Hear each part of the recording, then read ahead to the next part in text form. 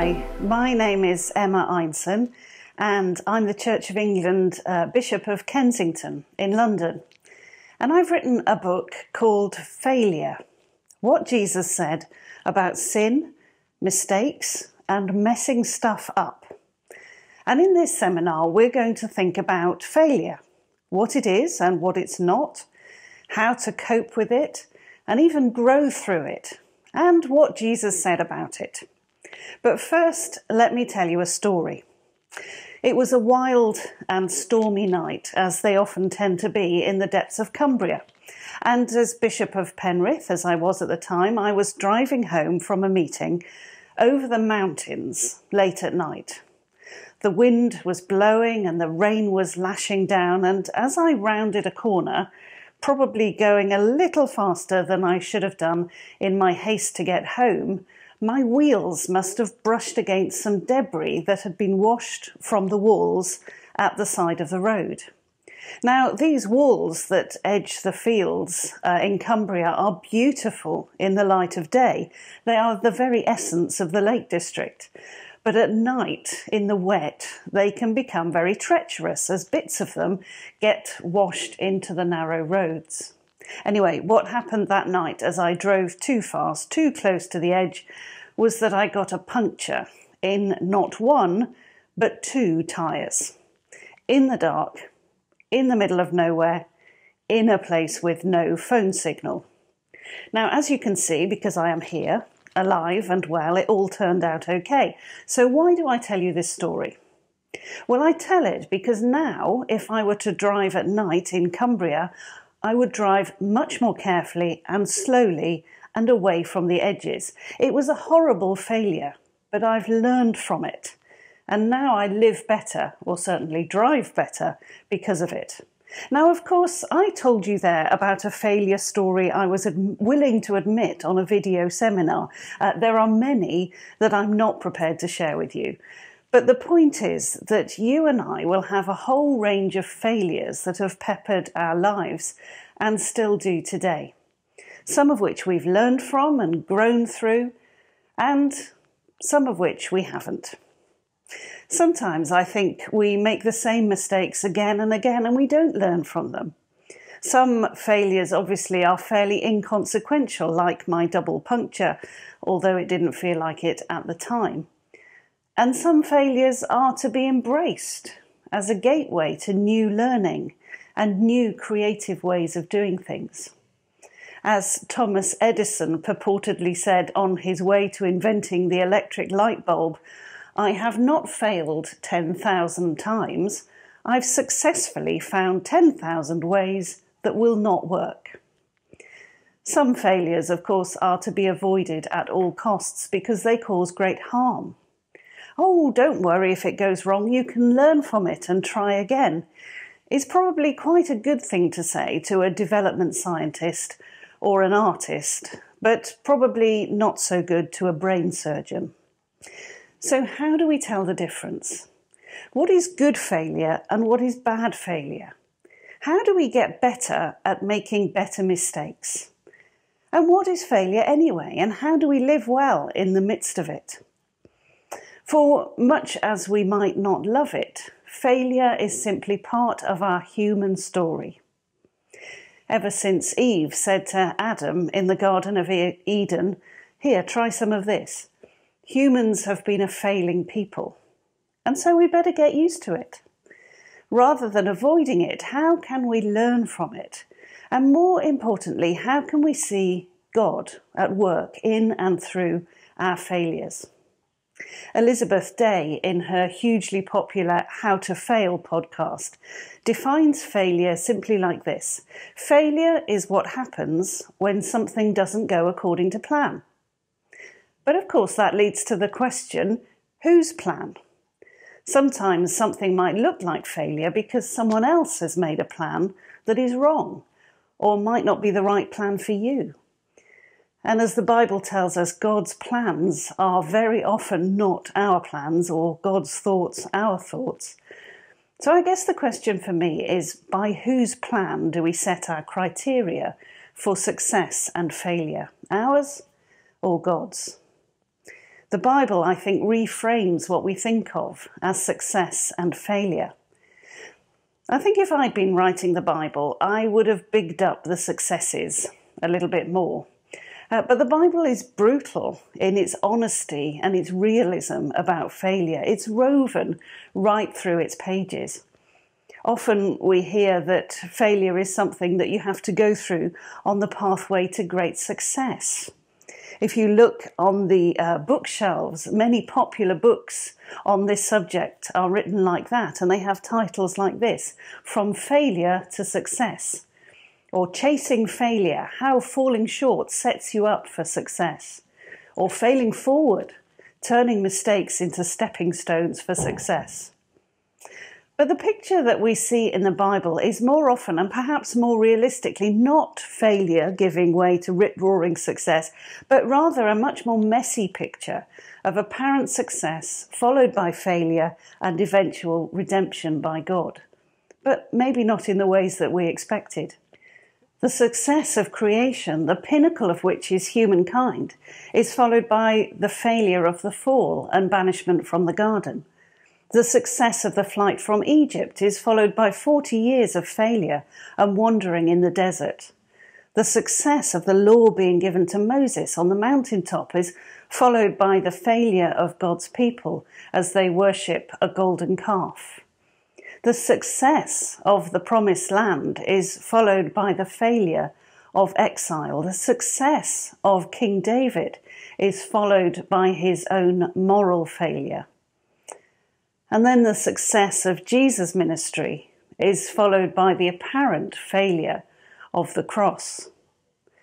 The success of God's Holy Spirit being poured out on all people is followed by the story of the church being persecuted and scattered. The success of Pentecost is followed by 2,000 years of the fallible church dividing and splitting and sinning and failing, even as it grows and spreads. So, is failure really something that you encounter on the road to success? Or is it more often the other way round? And then, of course, there is the cross. Did the cross represent failure for Jesus? We know, of course, in the light of the resurrection, that it all turned out okay, uh, which is the understatement of the century. We know that through the cross came great victory.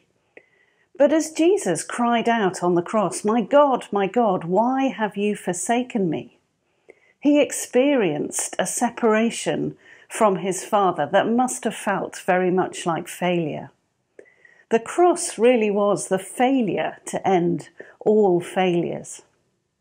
So I think uh, that Christians ought to be really good at failure. Our faith story equips us well for it.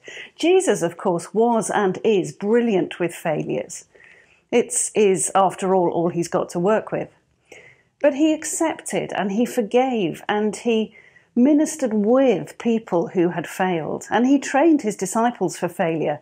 He sent them out to do his work and to preach his good news as sheep amongst wolves. He said to them, Wherever you enter a house, stay there until you leave the place. And he said, If any place will not welcome you, and they refuse to hear you, as you leave, shake the dust off your feet. Try, fail, move on. So let's look at living well with failure. Perhaps failure is a little bit like living with COVID. We wish it wasn't part of our lives, but it is. So we need to learn to live with it. We could allow failure to stop us from doing anything at all, like COVID restricting our movements and stopping us trying new things. But perhaps it's better to take sensible precautions to limit its effects, to learn to fail safely in ways that don't hurt others, and to just get on with living. So, how can we be really successful failures? I've got five suggestions. Number one, learn to live with the mess. Now, when I get stressed, I don't know what you do, but I tidy my linen cupboard.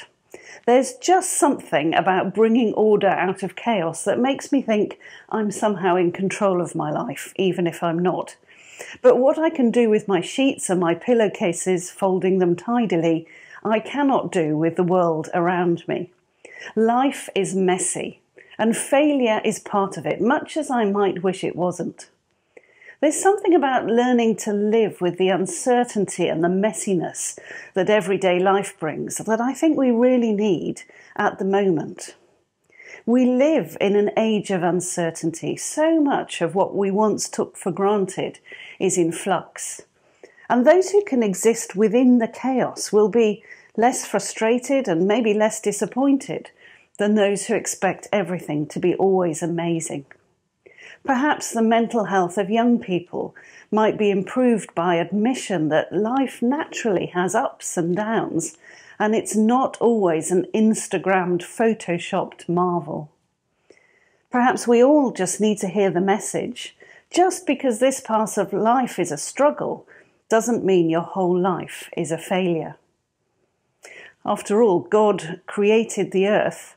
It says in Genesis uh, 1, verse 2, out of complete chaos. A formless void and darkness covered the face of the deep, while a wind from God swept over the face of the waters. In Hebrew, the words for chaos and darkness and deep and waters all held rich resonances of a fearful, primordial mess. But God shaped order out of that chaos. But chaos isn't bad in and of itself when we give it to God. Number two, allow others to fail. One of the best ways to deal with failure is to realize that you're not alone. Failure is a club that we're all part of. There are some companies and workplaces, apparently, that have begun to hold failure parties where everyone shares something that's gone wrong and what they've learned from it, so that everyone benefits from that learning. Perhaps we need to try that more in the church. I once invited a group of senior leaders to safely share with each other in small groups something that they had failed at or got wrong recently. They could choose what and how much they shared, but the effect was unifying, as one by one they realised that even the most senior amongst them had messed up in some way or another. One of the benefits of sharing our failures is that it gives permission for others to do the same and to be open about our failures, learning from what has happened. Imagine what life would look like if we truly allowed others to fail just as we do. One of the most neglected gifts, I think, in our culture at present is patience. We're not very patient. We expect everything to be done perfectly and immediately. And when something goes wrong, we demand to know what happened and who is to blame. Our arguments and our disagreements are rarely nuanced and considerate, even in the church. Often we're shrill and impatient with each other. Patience, I think, is the art of making room for repentance which may not happen overnight. Patience is the space after failure. So, can we be more patient with each other and give each other what the old prayer book calls time for amendment of life? Number three, feel the fear and do it anyway. That's the title of a book written by Susan Jeffers in the 1980s that encouraged people to embrace their fears, but not to let them stop them doing things, to move forward with the things that they've always wanted to do in life. It's natural to fear failure and to do what we can to avoid the embarrassment and the shame of getting things wrong. But most of life involves taking risks day by day.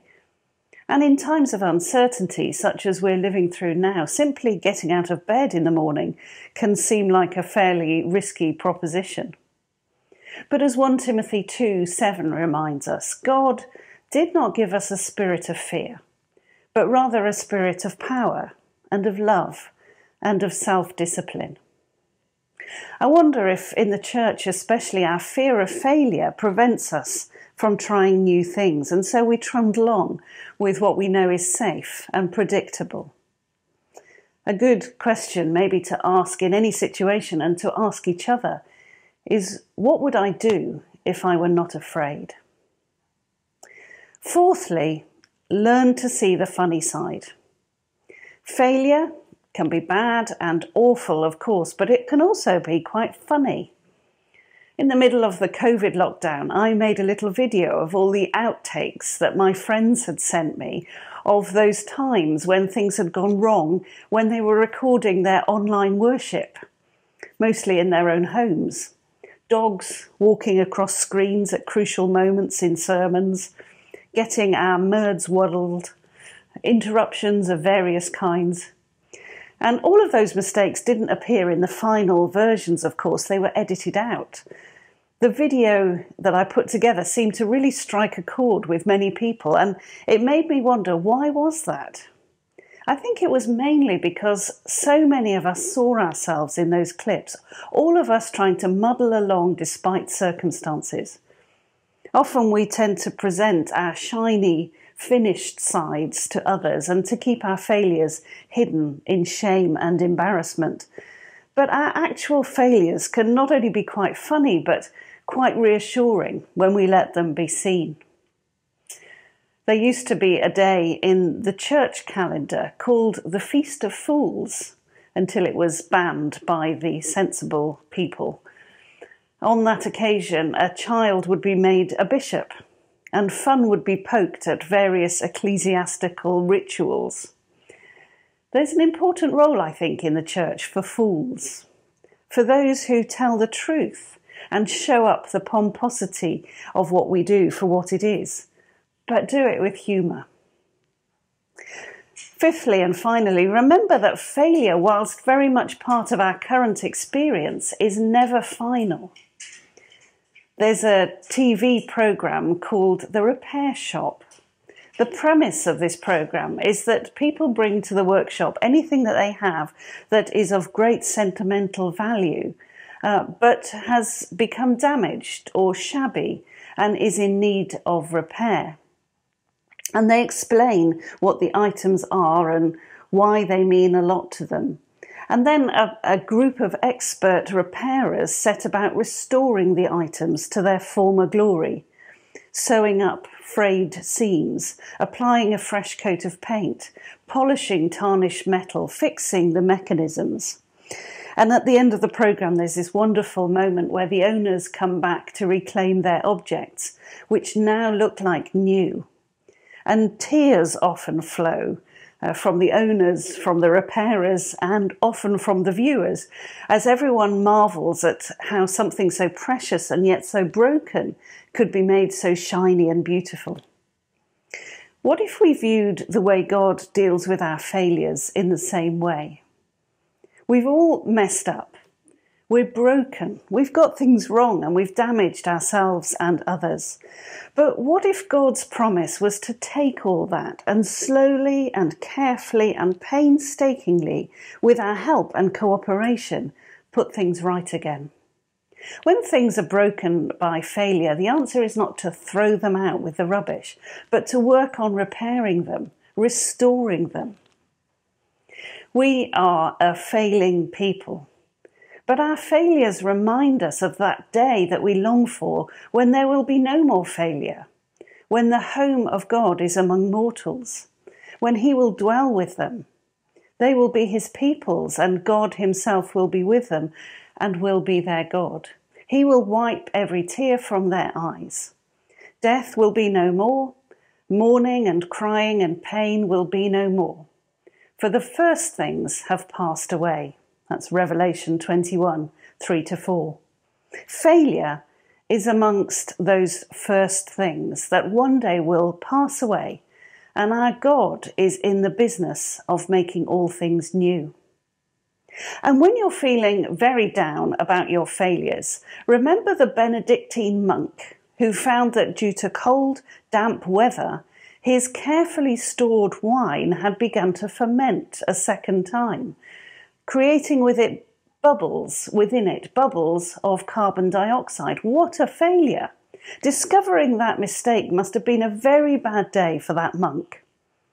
The name of the monk? Dom Perignon. Cheers, you lovely failures.